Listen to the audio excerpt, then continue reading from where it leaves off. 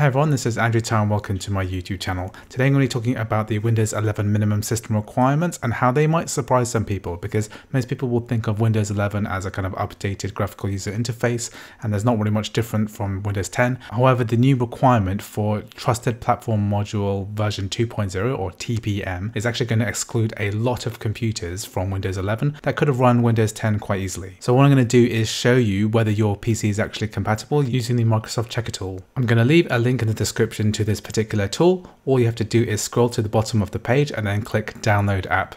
Once we've downloaded it, we'll install it and then run the application. So this tool is called the PC Health Check. So it checks various aspects of your computer, but most notably, it has been updated to tell you whether you're able to upgrade to Windows 11. So all you have to do is to click the check now button at the top of the window and it's telling me I can't run Windows 11 because I don't have TPM 2.0. So this might surprise quite a lot of people because I'm running a Ryzen 3700X which was only released in July 2019 and furthermore Microsoft has sent some very confusing messages about which version of TPM is actually required. This support page initially said that TPM 1.2 was the hard floor, the minimum requirement for Windows 11, but it was subsequently updated to show that TPM 2.0 was the minimum requirement once again. So what does a TPM do? Well, basically, it's a part of your computer which helps improve security by holding cryptographic data and also things like encryption, passwords, etc. in a separate part of your computer. So these can exist as these kind of discrete chips that you can actually physically connect to your motherboard. But actually, much more commonly, they are actually part of any kind of modern CPU. And this is something that Microsoft has really failed to communicate properly. The reality is that almost every CPU from 2015 onwards is almost guaranteed to have TPM 2.0 support. And so if we check this particular list of compatible CPUs, so I've got my list of AMD CPUs here and also Intel CPUs here, you can see that there's quite a lot of CPUs that are actually compatible. So these are not discrete modules that are plugged into your motherboard. They're actually part of the CPU itself.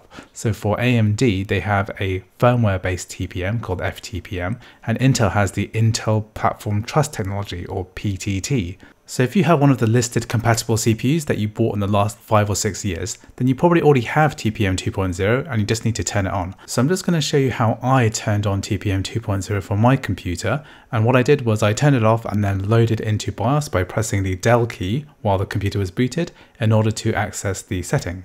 So I'm in my BIOS of my B450 Tomahawk, which is an MSI motherboard. Then I'll go into the security setting and then click on the trusted computing section. So I just need to make sure that security device support is enabled and then this allows the TPM to be turned on. So this is the FTPM that's integrated into the Ryzen 7 chipset. So once we're ready, we just quit out and then make sure to press save. So once the computer is rebooted, all we need to do is go back into the PC Health Check app, and then we can see now that this computer is fully supported by Windows 11.